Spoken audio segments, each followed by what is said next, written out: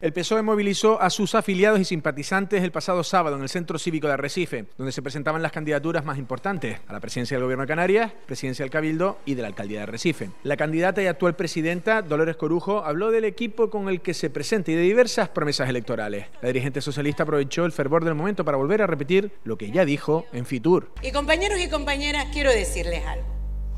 Este análisis de que cuando hablé y expliqué en Fitur luego cuando vine a Lanzarote dije y digo abiertamente, Lanzarote está saturada y no me van a callar, no nos van a callar, está saturada, así es el término. Una isla en la que decimos alto y claro, no queremos ni una cama más, no queremos ni una cama más.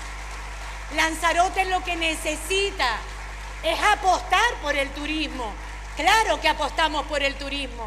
Apostamos por el desarrollo del turismo. Un turismo de calidad, porque amigos y amigas, lo sabemos todo y lo hemos podido comprobar. Algunos llevamos años en esta lucha. Menos siempre más. En el mismo día en el que ocurría la pelea pedradas en la Santa, Ángel Víctor Torres defendió la gestión que ha realizado su gobierno en materia de inmigración. Lo que no puede ser es dejarlos a su suerte, lo que no puede ser es abandonarlos, lo que no puede ser es el cinismo de decir, como no, no es este sitio suficiente, usted tendrá que buscar dónde ir. Por eso también denuncio en este acto que del mismo modo que cuando fui alcalde y lo fue Loli, Ayudé a quienes me llamaron siendo de otros colores políticos en el gobierno de Canarias y abrí instalaciones en mi municipio para menores no acompañados. También fue el día importante para Alfredo Mendoza, candidato a la alcaldía de Recife. La respuesta que le doy a mi familia es que eso, simplemente quiero ser alcalde porque creo que en Arrecife se pueden hacer las cosas diferentes. En Arrecife se pueden hacer las cosas de otra manera. Creo que tenemos eh, un grupo humano de hombres y mujeres que, hemos demostrado cercanía, humildad y, y capacidad de trabajo, ¿verdad, Roy? Y lo hemos demostrado abiertamente a todos.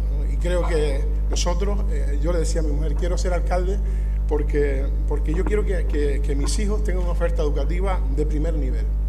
Quiero que los niños y vecinas de, y niños de, de, Recife, las niñas y niños de Recife, tengan unos colegios donde realmente puedan disfrutar de los espacios educativos, con sombras, con, con, canchas que no se estén cayendo a cacho. En definitiva, puesta en escena del PSOE que muestra toda su artillería en tres de las instituciones más importantes de la isla y de Canarias.